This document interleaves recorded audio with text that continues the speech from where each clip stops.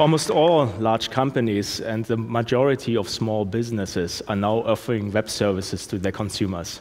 So, doing these interactions, we are sharing a lot of data about ourselves. Oftentimes, it's quite sensitive data. So, the question arises how well are these companies actually safeguarding our information? So, in this talk, I want to discuss some insights of a project that I'm jointly working on with doctoral candidate Mingyi Zhao on sharing some insights about this particular question. At the same time, I'm also trying to assess a potentially powerful pathway to improve web insecurity. But first, the bad news.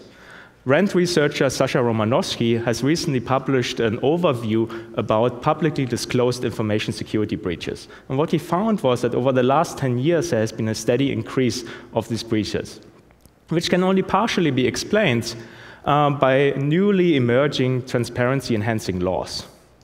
So, Uh, moreover, what we also observe is that this likely underappreciates the true scale of the problem, because still many breaches are not disclosed, and many breaches are just not detected at all. To illustrate this, let me cite a figure that was recently used by Satya Nadella, the new CEO of Microsoft, who said that it takes businesses on average 230 days to detect a security breach. But still, this does not include the kind of breaches that we don't know about it at all. So um, the scale at which data is stolen, at which our data is stolen, is staggering. Just doing this talk, which will last me about 10 minutes, 50,000 consumer records will be stolen and transferred to uh, cybercriminal marketplaces. So um, why is computer security so hard? Or why is it so fragile? There are a large number of reasons, of which I can only cite a few. A first one is well, we are actually one of the reasons we are demanding ever more complex, ever more interactive services. But it is just very, very hard to develop programs with tens of millions of lines of code with any kind of security problems attached to them. At the same time, we also have, from an organization perspective, to be extremely vigilant and defend ourselves at many fronts. On the other hand, attackers can pick and choose. They can cherry pick where to attack, when to attack, and they, they do so. So, um, let me illustrate this problem of this well motivated, well capable attacker by using a quote from Rob Joyce, the chief of tailored access operations from the NSA. So recently he gave a presentation and he said, uh, the mindset is clearly articulated in this way. We are going to be persistent. We are going to keep coming and coming and coming. So there are a lot of different technical problems that we have to address, but in addition, there are also incentives problems. So cybersecurity is very costly. Investing in protection is very costly. At the same time, it's very hard for all of us to assess whether a company has actually done so. So after a breach takes place, you can ask yourself the question, right? Has the company actually followed all the uh, widely accepted security standards, or have they been very inadequately prepared? This problem is likely for all of us completely indistinguishable. So, what we need, given just this subselection of reasons, is really a multifaceted approach to address security. And one thing that I want to focus on is a potentially powerful role of external security researchers, which are trying to collaborate with companies. So, these so called white hat researchers are independently researching the websites of major businesses or also smaller businesses, try to find vulnerabilities, and if they're found, they're submitting them to the organizations in anticipation that they're addressed and fixed. And if this process repeats over and over again, then we're hoping that at the end of the day, actually the security of this particular entity will be improving. What we are specifically doing is to look at two bounty marketplaces or web discovery platforms um, that are located in different places of the earth. The one is HackerOne, which is US based, and uh, it follows a particular pattern in the sense that organizations address, approach HackerOne to build a web uh, discovery program for them. On the other hand, we have Wooyun, where any hacker can submit any kind of vulnerability about any kind of organization in the world.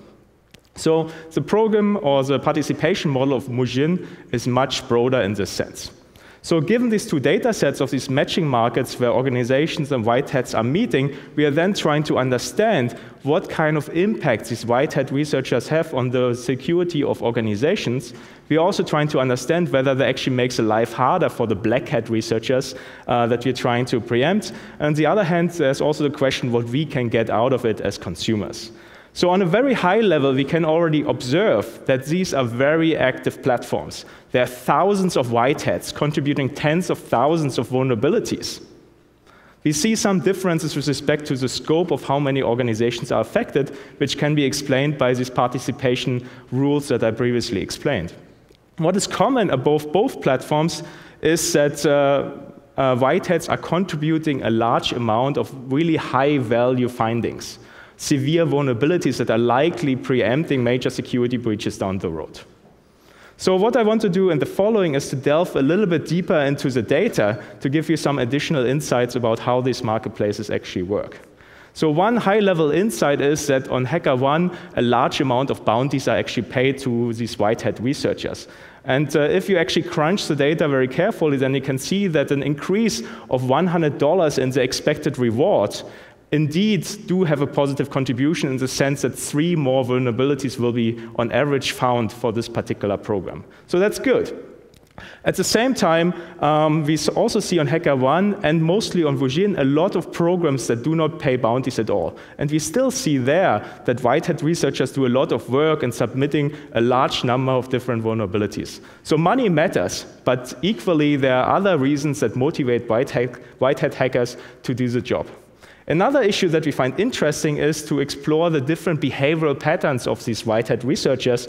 And what we see here is that we, on the one hand, we have white hats that focus very closely on one organization and in that sense very closely complement the security teams of this particular company. On the other hand, we have those who are more focused on specific vulnerabilities but cover a wider reach of different organizations, which is also important because we often do not have these communication channels between the companies to exchange information. Another uh, issue is should we focus mostly actually on the most prolific kind of researchers? Or does it also matter that we have a large amount of researchers that are in this kind of long tail of the productivity curve and maybe just submitting two or three or four vulnerabilities over multiple years? And what we found here is actually, yes, it matters quite a lot because this long tail actually covers also a much larger reach of different organizations. So, for example, less popular websites.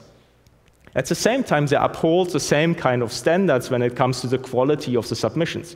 So we have an equal percentage of these high severity publications that are coming from those individuals. A more contentious topic in this white hat community or on the community of these platforms is the matter of rediscovery. So on HackerOne, over 22% of the submitted reports are actually duplicates of previously submitted reports. And to some degree, of course, this raises a question of raises a question of how inefficient actually these marketplaces then are. Um, let me illustrate that with an example from Facebook. Last year, Facebook released a new web messenger app that actually included an implementation mistake with respect to a particular security feature. And within minutes of releasing this particular application, 15 different white hats had already uh, submitted a vulnerability report about it. So rediscovery can be happening very quickly and it can be a very powerful meme.